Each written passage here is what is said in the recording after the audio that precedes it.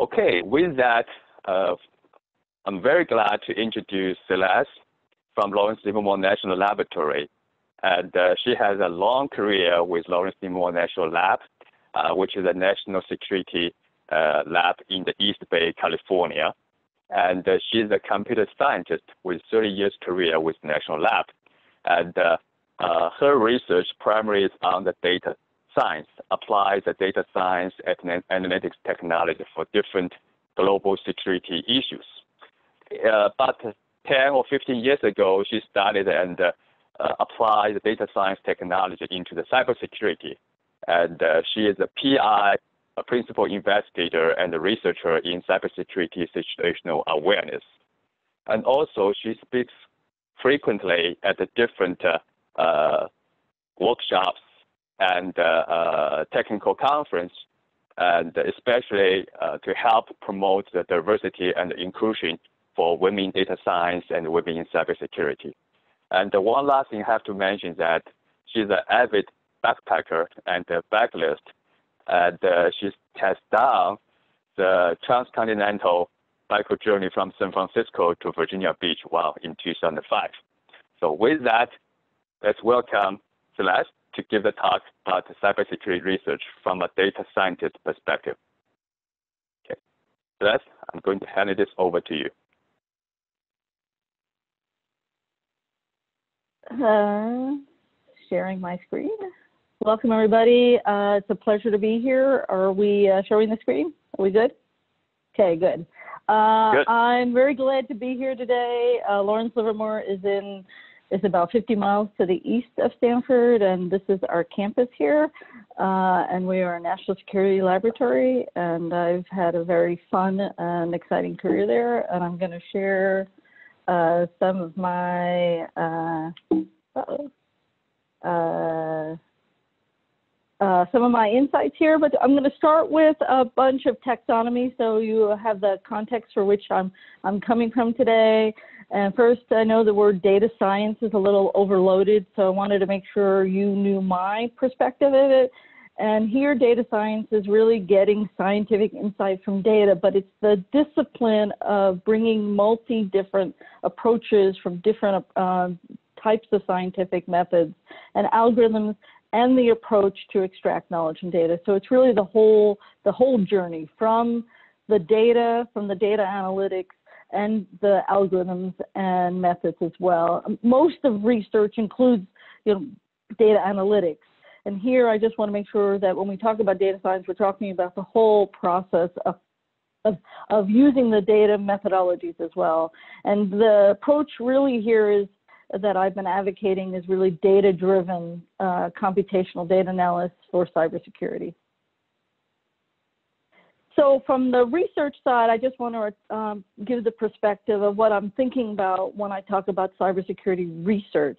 Now, and I, I don't want to, I wanted to make sure you understand that cybersecurity operations and cybersecurity software development and activities are essential to moving us forward. Um, research, in my opinion, complements everything we learn from the cybersecurity operations and development side of the house the, the things I think about from a research point of view is how to think about a more generalized solution, uh, solutions that are not only about the existing current technology, but say three to five years out. So trying to anticipate uh, and understand uh, the implications of our, our activities in the three to five year term, uh, term where many of the um, you know uh, development and cybersecurity um, uh, uh, operation people are really addressing current needs. So, so one of the differences in the perspective here is that research is trying to think,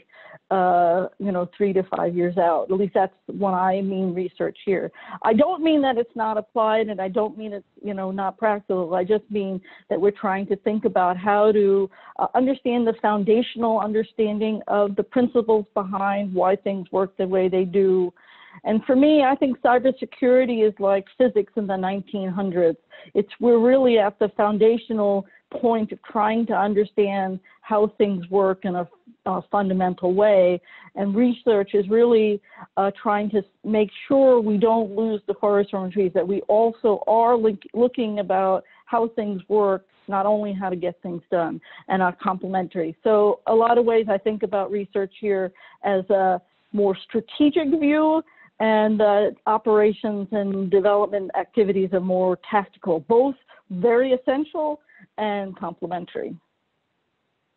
So with that, I wanted, uh, the rest of my talk is mostly a survey uh, and a discussion about uh, research perspectives, and we'll give some, I'm really hoping to give some examples of the research thinking around things that maybe uh, you've heard about or are practical concerns for you, and sort of explore research things. But um, from a data science point of view, cybersecurity is a fascinating place. Uh, one, there's lots of data. Just massive amounts of data. Uh, the and, and that's actually not necessarily always a good thing. Uh, there's so much data, but maybe not a very strong signal. If you think about the amount of data that transits a network at the Livermore, we have petabytes of data that just comes across the enterprise boundary, and a very small fraction of that is actually malicious in any way. So there's a huge amount of very, um, you know, you know, useful data, and we have to find those little things in all this other data. So there's lots of challenges. The other interesting thing uh, about this topic is that it uh, has a temporal domain, so it's dynamic, whereas you may find a solution to one threat um, but the adversary moves very quickly, and so there's a new threat. So there's always um, opportunities to explore uh, new challenges. Just because you get it fixed once doesn't mean it stays fixed, and just because uh, you found a solution for one thing doesn't mean it applies to everything. So good job security for cybersecurity. Uh, that's a good thing and a lot of fun and always very interesting. There's never a dull moment. The other thing uh, I think we are more aware now, especially as we're all home doing our, uh, you know, teleworking, uh, the the importance of cybersecurity because we are so so much connected to our networks, uh, and the fact that the, the adversaries are getting very sophisticated. Not only are they um, more sophisticated just because of skill level, but the advancement of tools for the adversary, for the criminals. They actually have a whole set of, you know, sophisticated software engineering tools that make it easier for them to um, cause malfeasance. So there's always new threats and uh, new uh, things coming along.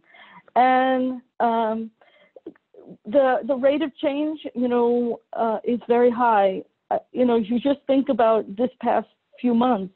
You know, prior to March, the amount of people using Zoom was probably a small percentage, and now after March, you know, all of a sudden there's massive change. So, so behaviors change rapidly to address new needs, new interests, and so that um, and the amount of, of applications that are out there. Just think about the number of uh, apps in the App Store at any one time. If you had to do a full software assurance process to approve every single app, at the rate of change at which new apps are coming on, it becomes a pretty daunting task. And then finally, you know, in the old days when, uh, you know, we used to talk about defense in depth and there was very clear boundaries, you know, the castle analogy of you have your moat and you have your perimeter. Uh, that's not so clear anymore. These networks are blurring. When I can sit, you know, in my office and uh, have my phone with me or uh, and have you know multi different approaches to getting to different networks. I'm bridging you know corporate network environments and uh, OT environments and mobile environments, and so there really is no clear perimeter or boundary, and the sort of you know everything outside of my enterprise or outside of my operational network is outside and everything is inside is no longer a valid uh, way of protecting. So I think we have to think about that everything is one big. Now we're at home using our corporate computers, we're using our home computers, we have our all our smart devices and all our OT and IT devices. So these networks have merged. So it causes us all these challenges causes us to really think differently about how to solve this problem. I think this kind of thinking of bringing data science in, we're seeing it being very popular uh, around uh, for other disciplines, and I just want to um, pursue it and, and explore some of the topics as it applies to cyber. Any questions?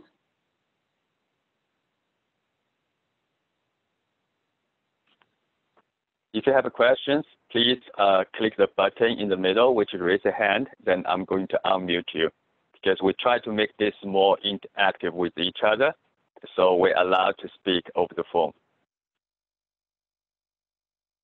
Okay, I'm going to go through and give some um, more examples so we have a common context and that we talk about some of these ideas a little bit um, together.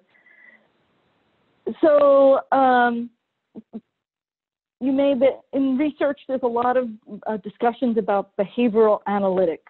And prior in cybersecurity, people talked about, you know, signatures, and signatures are the things at which are easily identifiable for which you can make a rule for.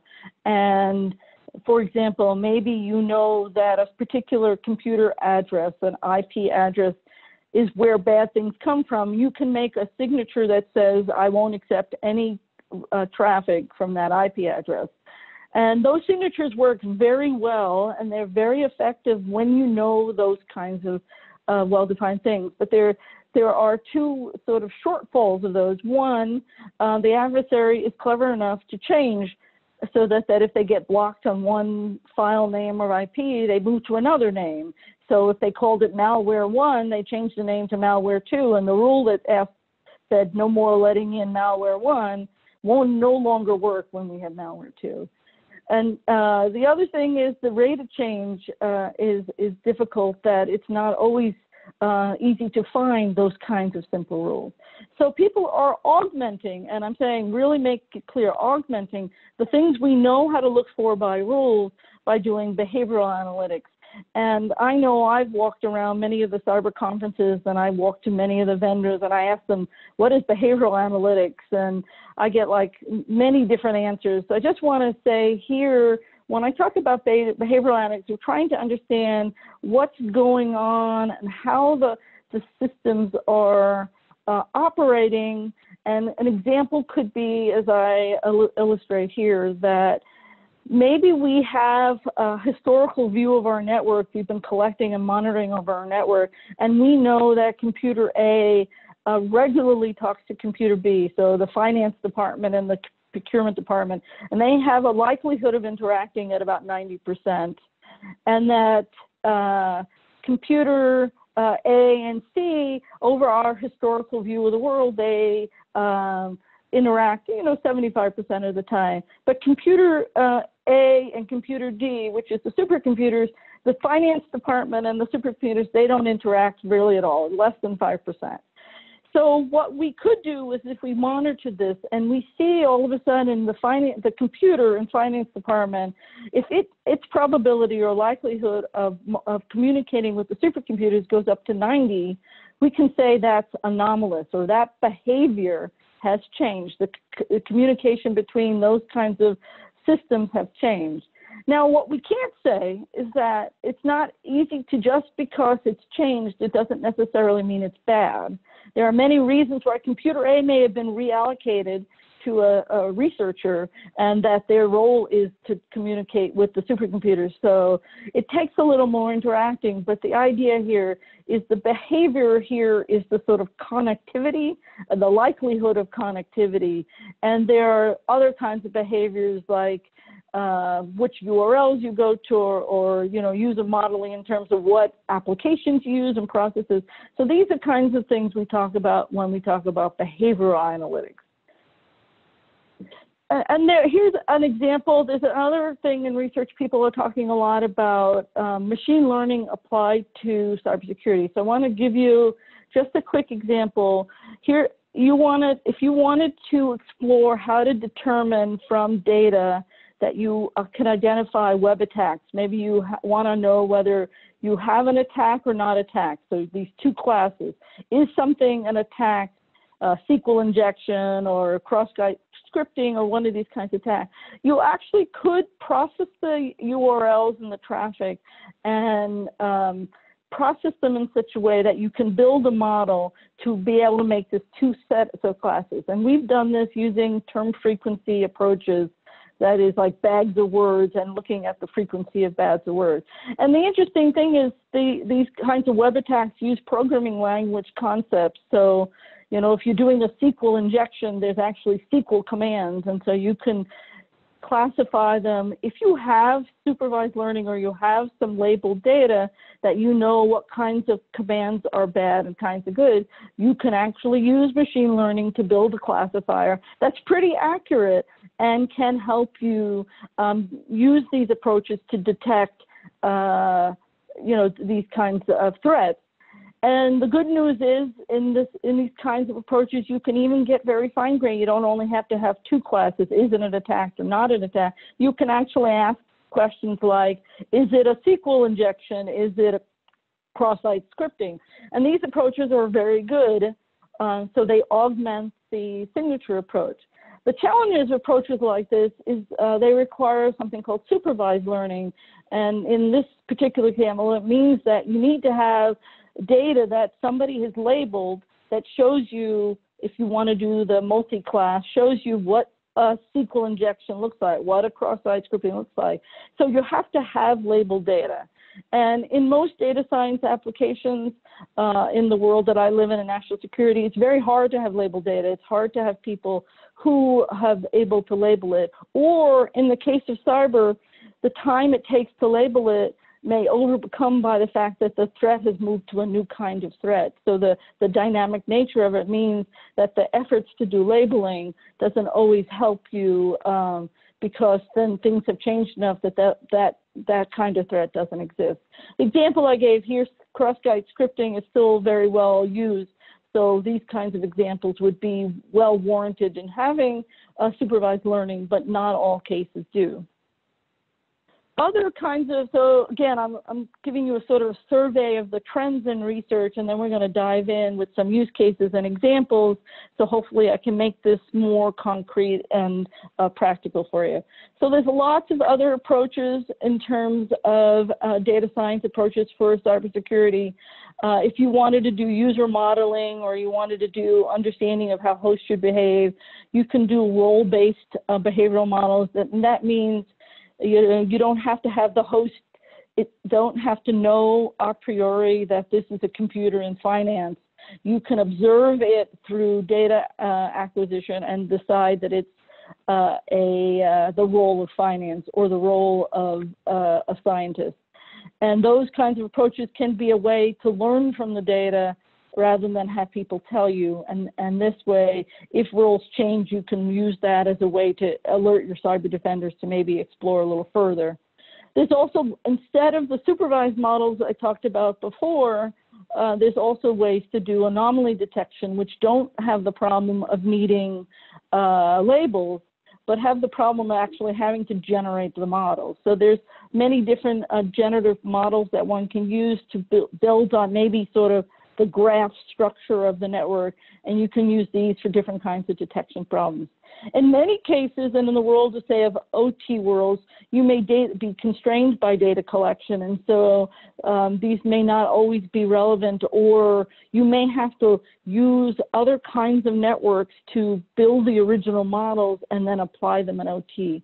And I think uh, we'll talk a little bit about this transferring uh, knowledge from algorithms you create in one environment to another in a in slides going on, but there are a lot of challenges about the sort of transferring of knowledge here.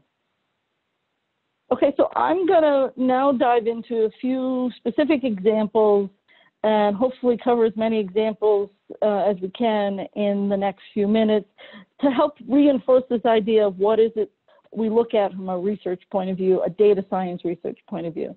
Any questions?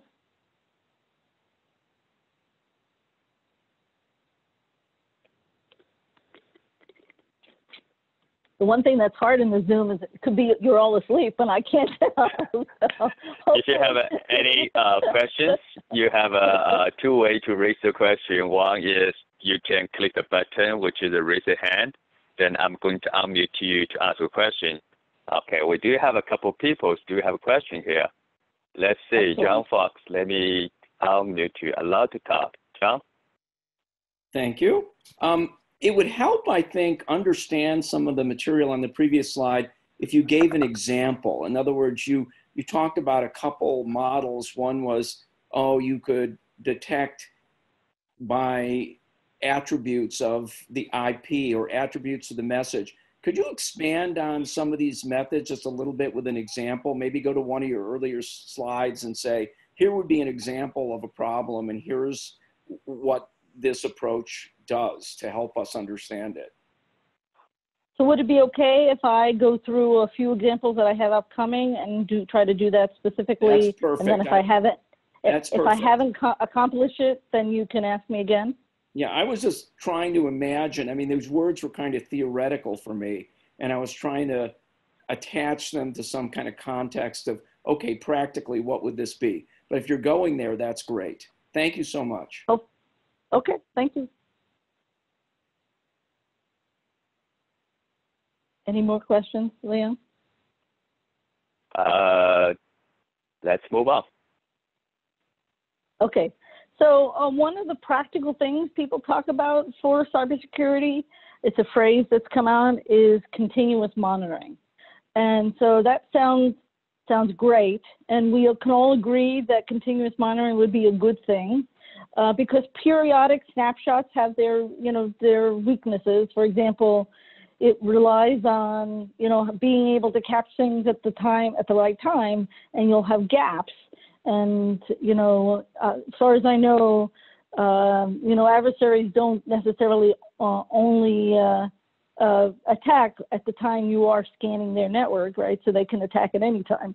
So um, the Department of DHS even had a whole program called Continuous Diagnosis and Monitoring. So there's lots of things that one can think about from a practical point of view. You know, you want to do in, asset inventory and resource con, uh, and resource constraints and do modeling. But really, what does it mean when you have to do continuous monitoring, right? So the problem could be uh, there's just lots of practical concerns. And from a research point of view, many of these are open-ended questions. Really, I mean, if you think about continuous monitoring, you think about huge amounts of data. And in many, I know in the laboratory we're in, people use their computers not just for the monitoring portion because they have real tasks they need to accomplish.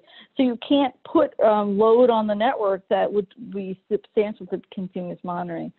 Um, we have to understand that uh, how much does the network change and how not only do we need continuous monitoring, but we need to be able to explain these changes to uh, a cyber defender.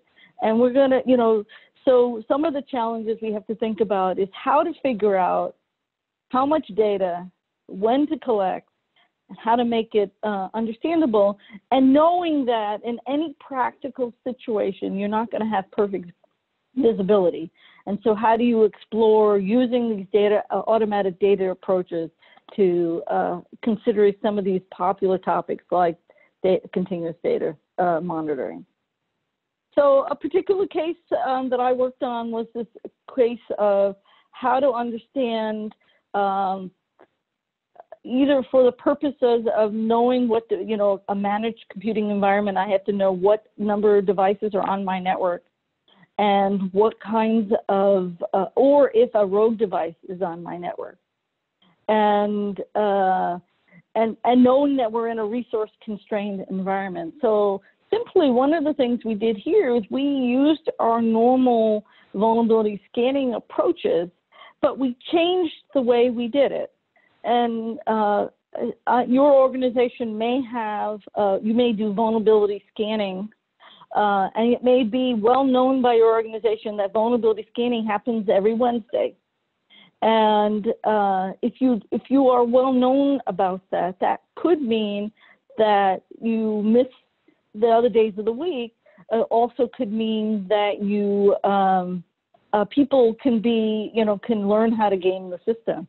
So one of the things we did here is we connect uh, collected uh, we we monitored our network. We found what were the, we did an analysis of all the data and found out that there were periods throughout the day that we could collect uh, different kinds of activities. So during the day, user behavior, during the evening, uh, server behavior like backups, and that we could vary one, our data collection strategy and our vulnerability strategy so that it was randomized and not deterministic, and that it improved our ability to detect uh, uh, the, the threats that were coming in uh, by a significant amount. It also actually improved our ability of not having users um, game the system. And what I mean by that, there were people in the in, who legitimately want to get their job done, and they may have a FileMaker Pro database on a Windows Vista machine that goes back to you know 2000. And under the current practices, those operating systems and applications are no longer supported or allowed, and they're out of compliance. But they learned that with uh, scanning happening every Wednesday, they just had to shut their computer off and they never got outed, right? They never got caught. Um, but by having more randomized uh, approaches, and actually, um, you, you didn't have to count, uh, uh, continually monitor. You could actually pick um, you know, periods of the day that got the broadest behaviors. And that's by monitoring it in advance and then building a model using uh, uh, the analysis of what hours of the day could you see different things like uh, all the different users connecting with each other. And, uh, and for example, at Livermore, we found that if we regularly collected data around 11 a.m., between 11 a.m. and 12 p.m. for user behavior, and between two and three in the morning for like server behavior, if we snapshotted those periods of time and then and then periodically sample through the rest of the network during the rest of the day, we actually had a good, useful model of our network. So here we address the amount of data and we address uh, how we did it. So the con operations, the operations of how we did it, and that made a huge difference in our ability to um, identify threats and in particular know about all the assets that were on our computer and and then build a model for how we and, and build a model for how we could find um, non-authorized or unmanaged devices on the network.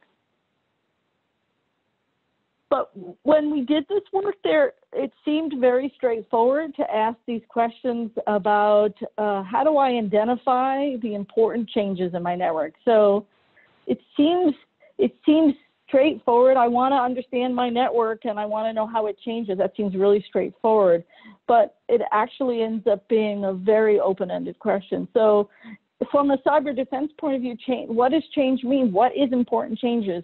And the reason why this is important is because uh, our cyber defenders don't want to be alerted constantly because then it becomes useless right? They want to have, we want to be able to triage for him the most important changes. So if you ask yourself to understand what, what are important changes, um, there are lots of different uh, kinds of challenges that come, come to bear. So um, going back to an earlier question, we can, we'll, we're going to talk about what kinds of things can change. And maybe for our cases, we have to get specific about what data we collect. So network properties can change, and then what the changes in these properties could be. For example, what are network properties?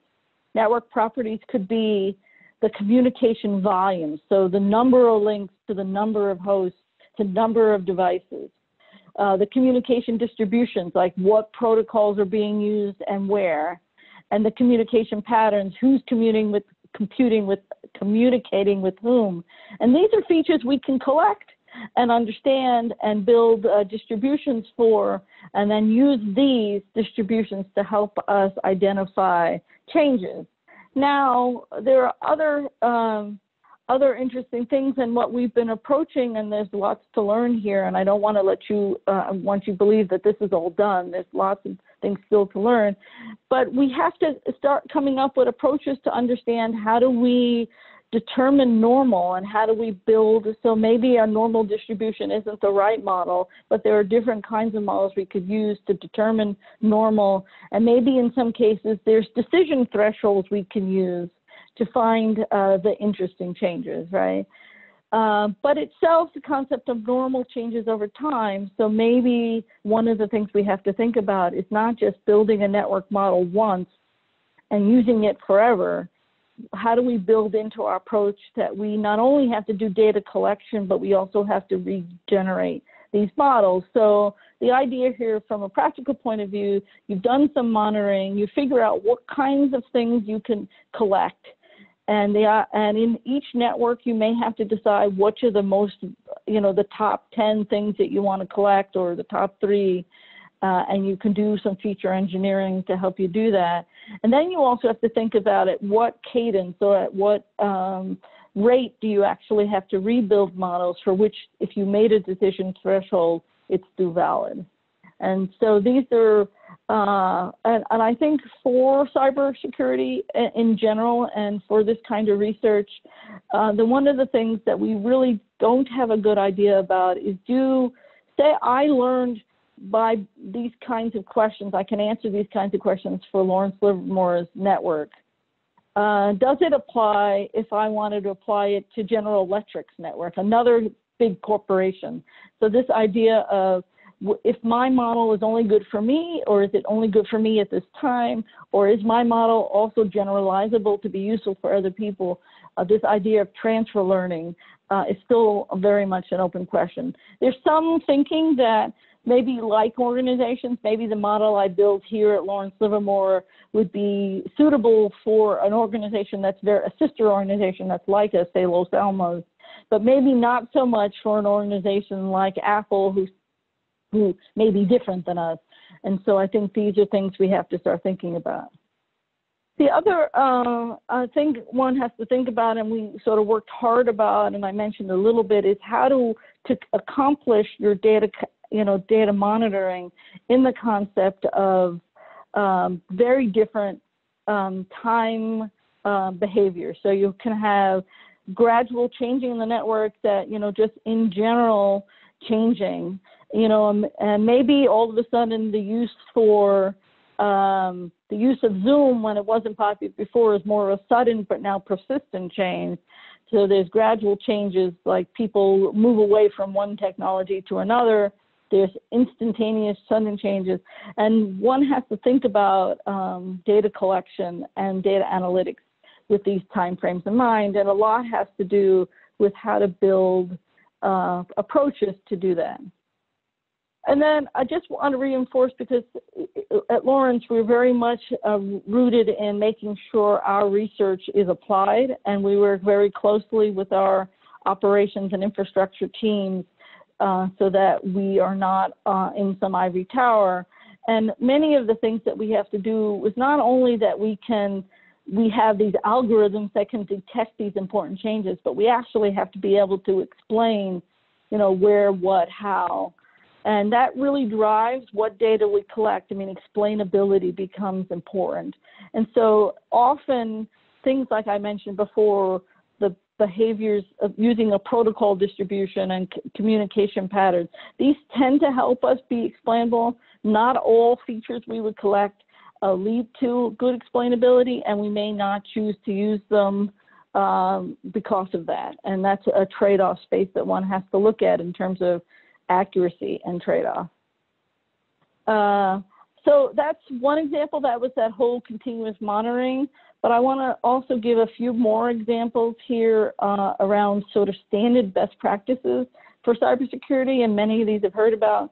But I want to take a public service announcement here first. So my public service announcement is that we know in cyber that user training is one of the most important things we have to do, and that's a well-known best practice, and I want to reinforce that.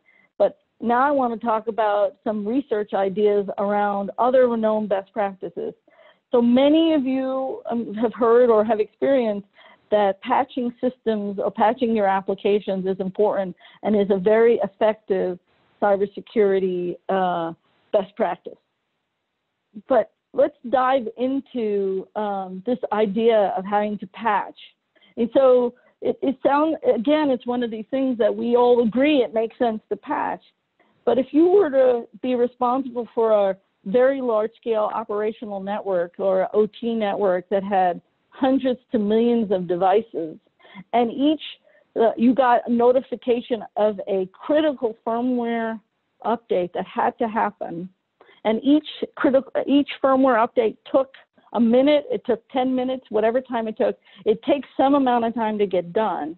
So you can't instantly do it uh, because one, it requires downtime for the device, and two, um, just saturation of networks and resiliency issues can't make it done. You ask yourself, well, what are the most important devices I would have to patch first?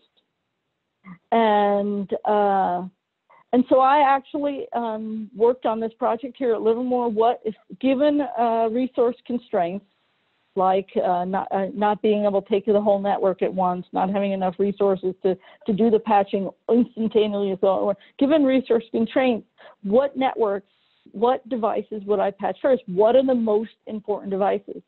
And so I naively started off with, well, I'll go ask people. And so I did. I went and asked all the organizations to give me the list of their most important devices.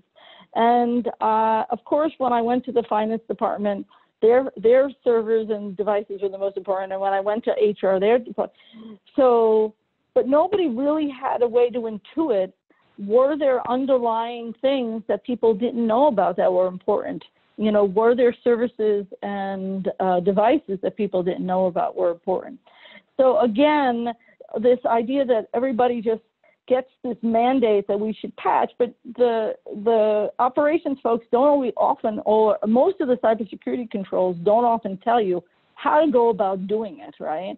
And so we're often struggling. Each individual organization has to struggle with what's the right way to do this. So uh, we we approach this from a data-driven point of view.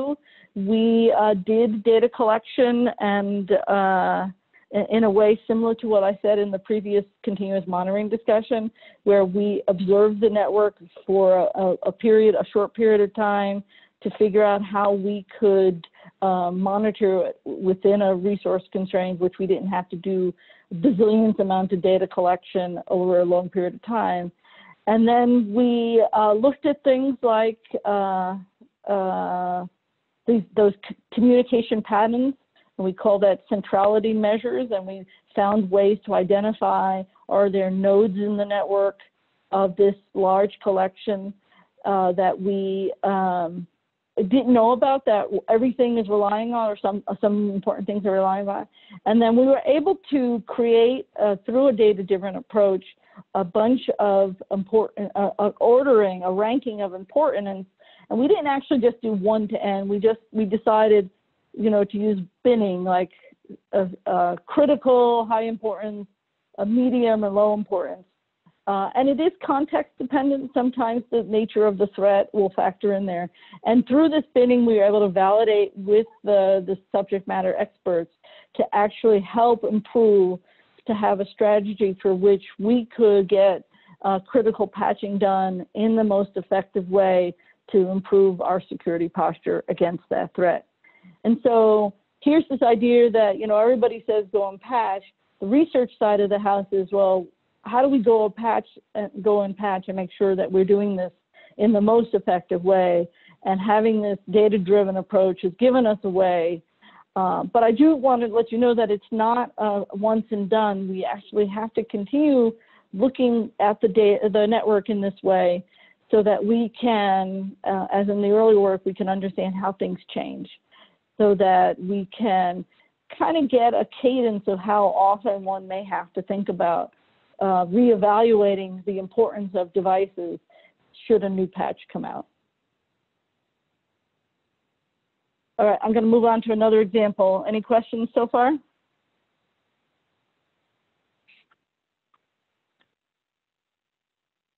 Again, uh, if you have questions, you can uh, raise your hand. There's a button uh, down in the middle.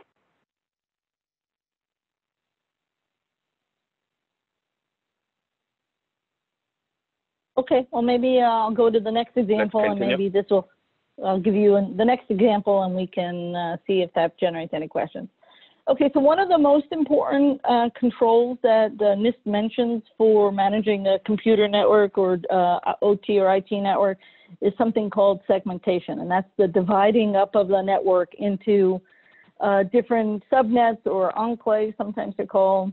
The idea behind that is you um, prevent spread of uh, malicious behaviors, you you least privilege, you make sure only the people who need to have uh, that access to that subnet have access and stuff. So I've read all the controls and all the documents, and and I do know that segmenting is important, but there's nowhere in the controls to tell you how to do it. Um, and actually, there's nowhere in the controls to tell you that if you should just have to do it once, do you have to do it often. And so um, the challenge we learned uh, and explored here is from a research point of view, how do we give advice to our cyber defenders in order to figure out how best to segment a network for improved security. Now, you could choose to segment a network for many reasons. You can say, I want to segment the, because of physical proximity and have all the network for one building together. You can, you can uh, segment a network because of who owns the equipment. Um, there's many reasons. But if we wanted to segment the network for security, we wanted to be able to give advice to, um, to our cyber defenders and actually be mindful of the cost. I mean, it is non-trivial, uh, the cost of some of these approaches. Although as we move to more software-defined networking and new uh, approaches to network management, some of these things actually become um, um, programmable and controllable such that the cost is, uh, is lower. But in, and imagine in an OT network, uh, where things are pretty stable or could be pretty stable. If you were told to resegment, it could be, uh, you know, a major effort. So you want to be mindful of the cost. So um, we had to understand and collect data to be able to uh, do some experiments from a research point of view in a lab so that we can think about how to do the segmentation. Uh, and again, we found that the things, things like the protocol distributions and the time of day were pouring connections were important. And what we also learned was that we used this uh, metric for the amount of connections, not only uh, the, the, the, the distribution of protocols, but the amount of connections within each segment. And we developed a threshold that said if the amount of connection, the communication uh, changes or gets beyond a threshold from, say, the amount of people who work within an, an organization or a segment, they, they most, the reason they were in that segment is because they work more with each other. They communicate, their hosts or devices communicate more with each other than they communicated, communicated outside the segment. So the intra uh, uh, communication was higher than the inter communication. And when that balance changed, we uh, looked at the cost and uh, the implications of uh, resegmenting. And what we found, and again, I want to just tell you that this is research and we have not done enough experiments to know if this is transfer, our experiments transfer to others.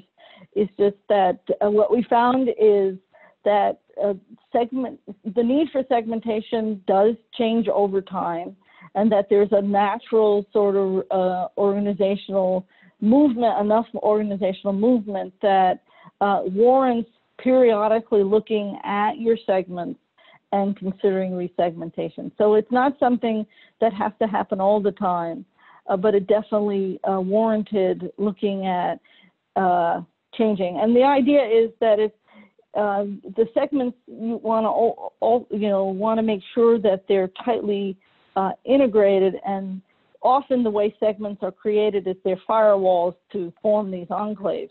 So they're protected by uh, security devices. So you want to keep as much traffic inside the segments um, that have that extra layer of protection through those firewalls.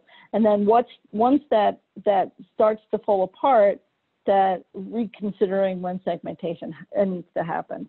So we use a data-driven approach by collecting, figuring out um, these clusters of people using this measure of uh, reachability and amount of communications, the volume and the number of connections, uh, and use that to help decide which were the original segments and then we were able to do periodically reevaluate um, which segments need to be uh, like clustered, different clustering of hosts or uh, devices uh, over time, and how to do that in a way that we could provide to the operational teams practical uh, and understandable reasons why um, it was worth considering uh, resegmentation.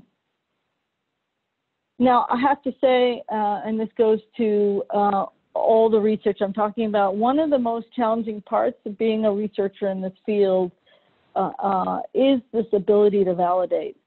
And so, uh, whether it's because you're doing cyber threat detection and the threats are variable, or you're doing things like I'm talking about in terms of uh, organizational changes like segmentation, you know, the, what how do you define? Uh, and I think part of what I go back to what I said earlier, these concepts of what defines more secure, what measures we use are still in their nascent and early stage. So it's hard to have ground truth to know um, if the approach that I'm taking is better or worse, and it is hard to do. Um, you know these these uh, assessments. And so that's one of the challenges in this field is you know getting robust data sets and getting um, you know access to ways to evaluate it. And in many of the cases of the t- things i talked about here our initial evaluation was through subject matter expertise in terms of and then in and as we as we were able to conduct these experiments we were able to measure things uh, such as the uh, amount of lateral spread of a, of a, a known uh, adversary in a network when we had segmentation. But these things are very hard, and so uh, we are still in the early stages of trying to make sure we can do all these things. But uh, there are many different models. There are many foundational questions we still have to understand. Um, uh, I think we're sort of in the baby steps kind of phase here. Uh, I think there are some real practical things we as research can do that can help make things uh, explainable and find approaches that are enhancing to the things like signatures so that we can use anomaly detections and uh, other variations of things like that and uh, and and make progress. So uh, uh I want to recap and, uh, and then I'll take questions. But you know, really, this idea of situational awareness and where I sit in is what we believe, and the, the, the sort of common understanding is that continuous understanding of your network is important. That is not as easy as it sounds. There's a lot of data. There's a lot of practical concerns about how much you collect and how do you evaluate all this data. There is lots of data in cyber, which is fun for me as a cyber as a data scientist. Uh, um, but sometimes that's not a good thing because we have to be able to uh, um, make use of it in a timely way because time to solution is very important in cyber. Research is needed uh, to advance the science of security. We've made a lot of practices, but as I was just saying, uh, we've made a lot of advances, uh, but there's still a lot of foundational things about uh, how the networks change, the rate of change from the networks, uh, many constraints in terms of resources uh, and that we as a group of researchers really have to um, push on these ideas of how to make sure we understand uh, uh, evaluation metrics and the metrics of what does it mean to be secure and the cybersecurity community has to be thinking about these things and really input from the operational community and the cyber defenders themselves, from everybody working together. Um, as a researcher, this is a, so exciting. Uh, there's a ton of interesting research questions that are well grounded in practical needs and lots of fun. So if you have an interest in cyber research, uh, happy to be a research resource for you. And Hopefully I gave some examples here. I know this was a little bit more of a survey than a deep dive, and I will um, make available some papers if you want.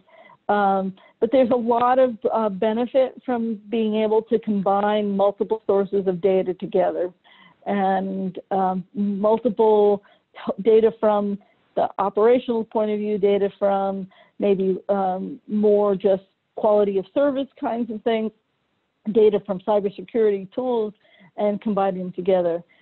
And just I want to reinforce that it is important that we make these uh, activities and the research we do yield actionable information for cyber defenders, that the goal really is to make an applied research approach and that the sort of data-driven approach provides new insights and abilities to provide a way to explore the space that is not easily intuitive. given that computing networks and the behaviors of humans in computing networks or uh, devices in computing networks is very complex, is a very complex system that um, hopefully these data, data analytic approaches gives us a way to augment the knowledge that's in the subject matter expertise with uh, new insights that wouldn't normally have been able to be inferred. And you know, not easy to intuit some of these these. You know, it's very hard to intuit if there's a critical device in a network um, because it's a back-end server and nobody knows it's there. With that, I'm going to stop uh, and uh, hopefully leave some time for questions. And a first priority to the person who asked the earlier question, and did I give an, enough examples or did you want me to go back? Thank you, Celeste. Terrific. Uh, so John Fox, you asked the first question, then uh, let me unmute you, then uh, say if uh, you have more question or Celeste has addressed your question. John? Yeah, no, thank you very much. I mean, I'm coming at this trying to absorb this maybe in a more practical sense, but I think one example you had was very helpful. You said you can look at the type of network traffic, whether it's uh, peer-to-peer or you know web, and you, you had an example of several categories, and so you could see that as a metric. You could just look at all the packets going out and sort of keep track of this, and if it changes in an anomalous way, you would say someone is using this in an atypical way. Did I did I capture that aspect of this? Yes, that's I, absolutely I, correct. Okay, that's actually but correct. then but I want to be, I want to just be clear, just be clear. Just because it changes, it doesn't mean it's bad. Right, but it seems to me, I mean, these wrappers. Now, again, I don't understand all these protocols that well, but it seems to me it's pretty easy in the same way that I can get spoof emails that claim to be from coming from places they're really not coming from, I can wrap my message with false headers and I can wrap it up with all kinds of stuff to make it look like things other than what it is. And it would seem to me, maybe this is just the game you play, is that each approach has a countermeasure that somebody can get slightly more sophisticated, but you could use a variety of, of protocols or wrappers using some, you know, pseudo random method to choose when you're going to do them that you wouldn't see these as anomalous changes at all. You just see this as, you know, kind of white noise in the in the distribution. So I don't I don't know if, if that's too specific a question, but I'm just thinking how easy it would be to spoof some of this stuff. So let me address that specifically. I think one of the things that uh, is important to address that is in maybe more the machine learning approaches that whereas signatures, it's too, it's very hard to have multiple different parts, uh, a rule that has many different parts. It gets too unruly. But with a machine learning approach or uh, an automated algorithm that is looking at it, you actually can parse maybe instead of just looking at the, the header, the, you can look at the details of the header. Maybe there's 56 different things or 75 different things if you parse, say, the header that you can now keep track of and make uh, a more uh, complex algorithm about. And so that's what we're seeing happen is that it is true that there are wrappers and different ways you can use these protocols, but there's only so many ways that will actually work. And then if you have an algorithm look at the, not just one or two, three different uh, metrics in that, you can start seeing that if people actually people give themselves away because they do the the craziness sort of consistently. So only like the the developer will find a way to take apart the protocol and use it sort of uh, in a, a, unique way. And even if they vary it a little bit, the machine learning algorithm can find statistically significant things. So the real issue there is that now with machine learning or algorithmic approaches to cyber defense, we can look at many more data elements and make our equations that look at anomalies a little more complex. And that's really what's happening to help with that uh, case of now people trying to spoof you by making things look alike. Okay, thank you.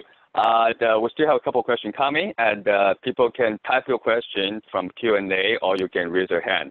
And the question from Q&A portal basically is asked about end-to-end encryption, which is kind of best practice for the industry for the security purpose. To what extent is use of encryption at odds with data science approach to detect cyber threats and more general to identifying opportunity to improve security?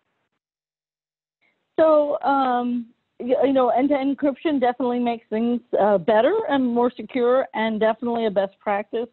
But there are also um, kinds of things that one can look at from a data science too. So, uh, if you look at end-to-end encryption, you still can see that that somebody is connecting to some some device is connecting to some of that. So maybe it's not just you're looking at the content, but you're looking at the structure, or maybe some of the things I talked about, those communication patterns.